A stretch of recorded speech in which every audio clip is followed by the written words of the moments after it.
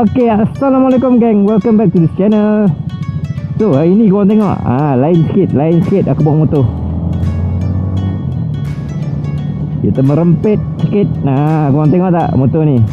Ha, Motor terbaru di pasaran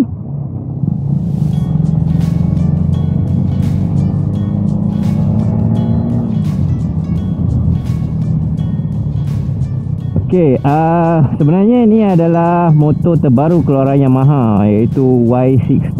Y16 adik lah kot, adik kepada Y suku.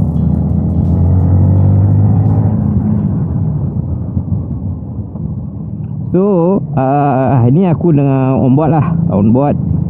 Sebenarnya kalau korang tengok uh, dia punya daripada segi lebar dia kalau nak comparekan dengan motor aku memang uh, dia punya kelebaran dia pendek sikit dia punya dasar dia actually aku rasa memang standard untuk Yamaha nowadays lah. Dia punya dasar dia warna hitam. And then uh, dia punya speedometer ni besar-besar. So memang untuk lebih mudah lah mudah. Untuk kita monitor kan kita punya motor kita punya kelajuan yang whatsoever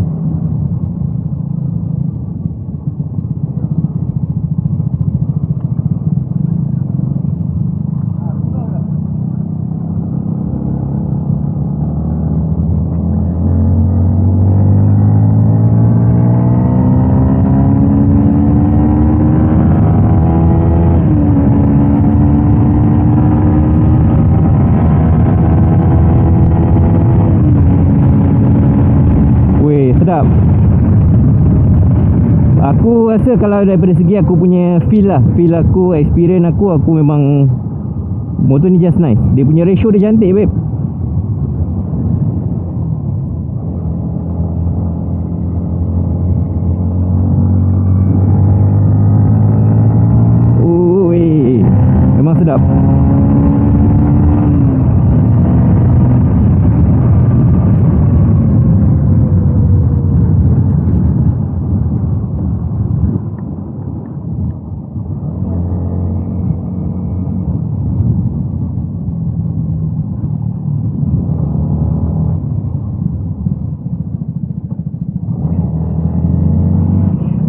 sebenarnya motor ni pun thank you kepada kawan aku lah uh, Bro Hazri.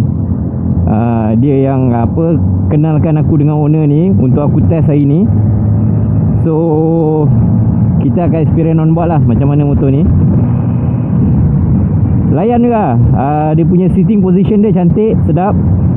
Uh, Seat dia pun sedap. Dia punya Apa lagi? Untuk riding, pick up Pick up aku rasa dia agak lembut sikit. Uh, Tak selia macam KTM 200 Tapi Tapi Ada pick up kat situ. Haa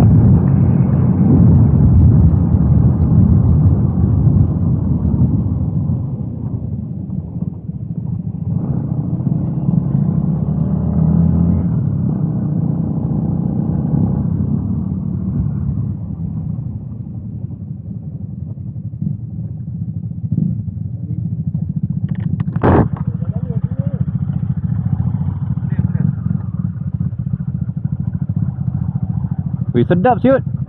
So Assalamualaikum geng. So kat sini hari ni kita ada dua biji motor lah. Uh, Aku dapat Y Suku Y15ZR dan juga Y16ZR Y16ZR ni macam mana kau yang, yang korang tahu ni motor brand new lah Daripada Honda.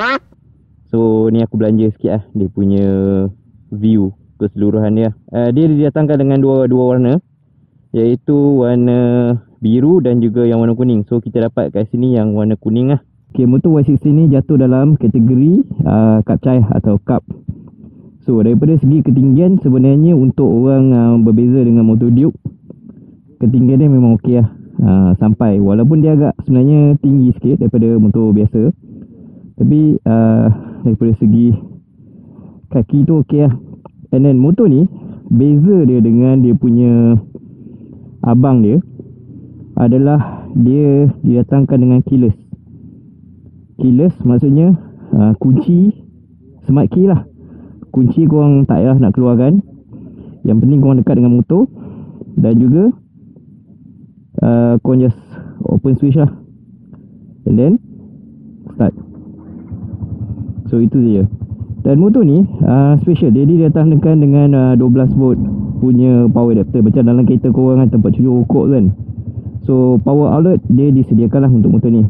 Tapi sayangnya untuk convenient dia tak ada harga lah dan everything semua dikawal okay oleh ni lah dia punya smart key lah. Daripada segi dasar meter uh, dia dah didatangkan dengan keseluruhan LED dasar dia warna hitam. So sama jugalah macam MT-15 juga. Uh, and then uh, kalau daripada segi dia punya petrol untuk tank dia lebih kurang 4 liter. Dan untuk uh, dia punya top tak silap aku dia tak jauh sangat daripada MT-15 lah. Dalam 14.7 meter newton untuk 8000 RPM dan juga horsepower dia dalam 13000 lah. So kalau daripada segi perbandingan motor ni sebenarnya tak banyak beza dia lah dengan MT-15 lah. Kecuali dia punya design daripada segi kapcai and then uh, MT-15 adalah daripada design naked bike lah. Actually kejap lagi aku akan test ride motor ni. Kita akan buat on board sekejap uh, Tengok daripada segi performance. Dan aku nak try dengan motor ni. Aku nak test Test power dengan motor Duke 200 Sebab bukanlah aku nak buat comparison sangat. Aku tahu ini memang berbeza lah. Motor ni pun tok dia pun dah tinggi. Tapi dia dari segi naked bike. Tapi dia punya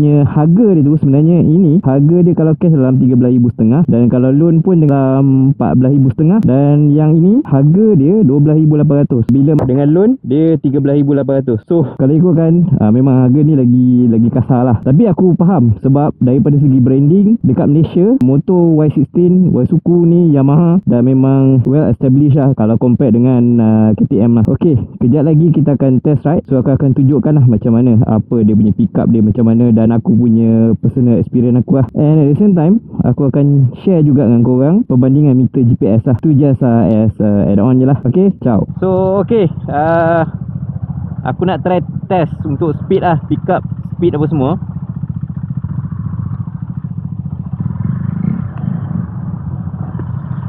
So ni kita tengok lah pick up dengan Duke 200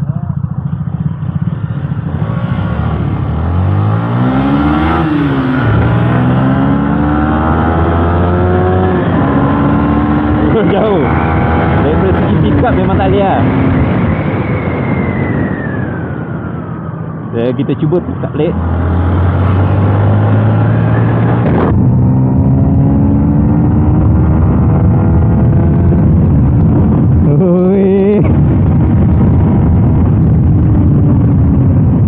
And then daripada cengkaman dia sedap. Uh, Braking semua sedap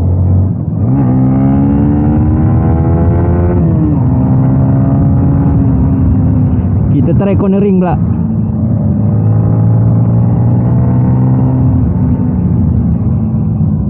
Okay uh, Aku speechless sekejap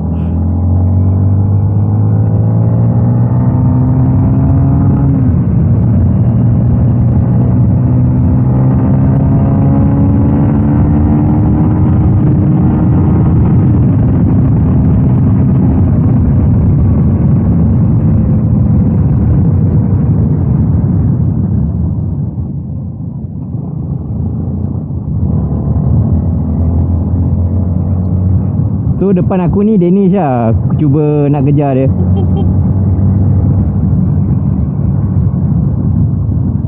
Aku cuba nak kejar dia.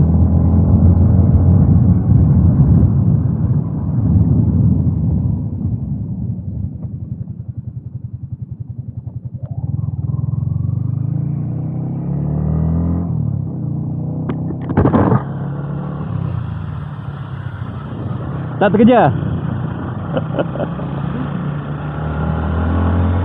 Tapi pick up dia sedap juga untuk dia punya kategori. Ha.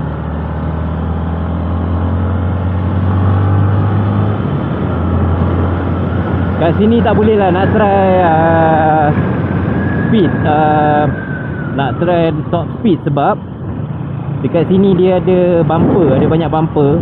Ha, tapi kalau ikutkan lah untuk aku kategori motor Kapcai dia memang champion lah so far. Ha. Memang sedap, layan pun sedap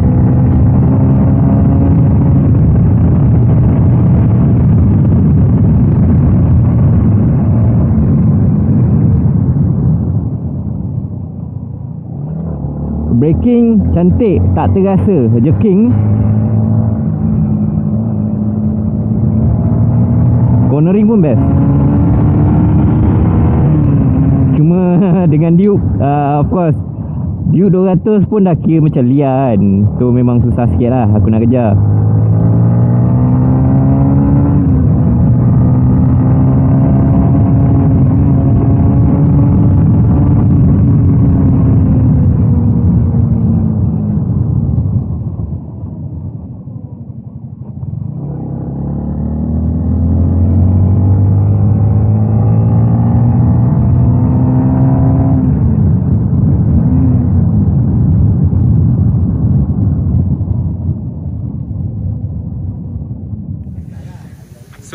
So geng tadi yang motor uh, ni Y60 ni Inilah abang Nama apa bang? Ya, yeah, uh, Yop Rizal. Uh, Yub Rizal Ya. Ah, So motor abang ni lah tadi yang bagi kita orang pinjam tadi So nak cakap terima kasih bang uh, Fun fun uh, So nanti hopefully saya boleh test lah motor-motor abang yang lain-lain Okay bang Okey, okey. Okay, okay. Okey.